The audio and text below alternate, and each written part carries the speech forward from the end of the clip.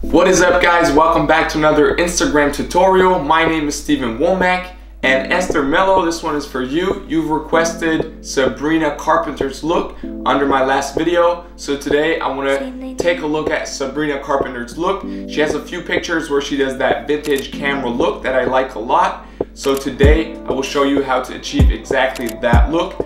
Uh, what we will need is a smartphone, of course, and you will need three apps to really nail the look. The first one, of course, is the free Lightroom mobile app. The second one is also a free app called Snapseed, and the third one as well free. It's called Nebi, and we will use all of these three apps. Now, before I start, make sure to subscribe to my channel and hit that notifications bell so you don't miss out on any of my tutorials. Also, contact me on Instagram if there's anything you need. My handle is at Steven Wommack. I'm always happy to jump into conversation with you.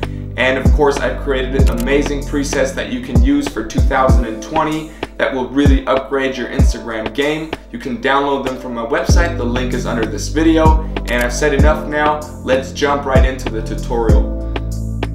So first, of course, you want to open up the Lightroom app and I chose this picture. It's a different picture of Sabrina, but I will add the vintage camera look to this picture.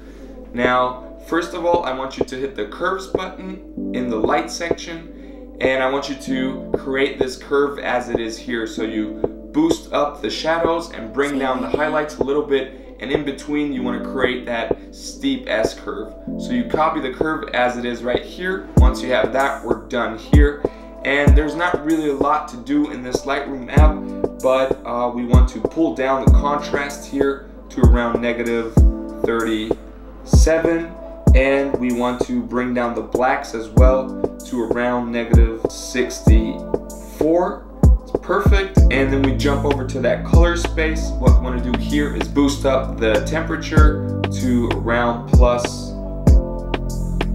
12 is perfect and we also want to boost the tint up to around plus 25 to get those vintage colors started.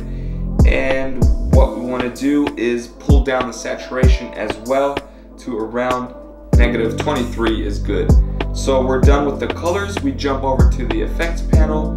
And here we really just want to pull down the clarity to get it a little blurry to around negative 29 and we also want to bring some grain in there to add that vintage touch to around uh, 20 25 is perfect. So we're good here. We scroll up to that split toning button. We hit that and what we want to do now for the highlights is pull them over all the way to 283 uh, as a hue and a saturation of around uh, 14 is good. Now for the shadows, we want to pull them over to a hue of 35, that orange red area, and a saturation of 28 is perfect. So now we really have those vintage colors here and we're done with this look. So we want to export it, uh, save to camera roll, maximum available, and now we jump into that next app. This is gonna be Snapseed right here. Now what we wanna do is open that picture that we've just created right there.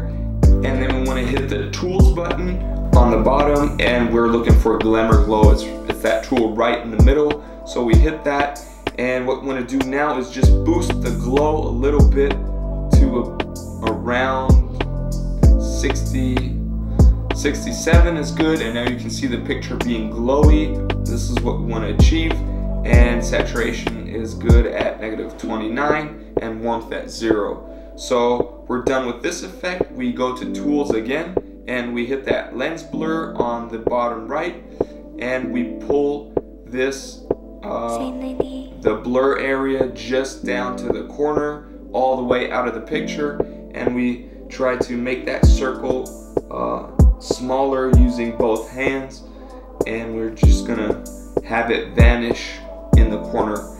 Now we scroll up on the picture and then you see blur strength. This is what we wanna pull down all the way to plus seven. Right there is good and now we get that vintage blurry look to the picture. So this is perfect. We're done here as well. We hit the check mark, we export it, and we save a copy. Now the last thing we want to do is open up an app called Nebi. All of the apps are also under this video. Um, you can find them for Android and iOS. So we open up that Nebi Film app and we add a photo and now we want to add that photo right here. And then on the bottom you see A, AK, AK2 and B. And you want to choose B to get those white sprinkles in there to get that really vintage uh, dust into that picture.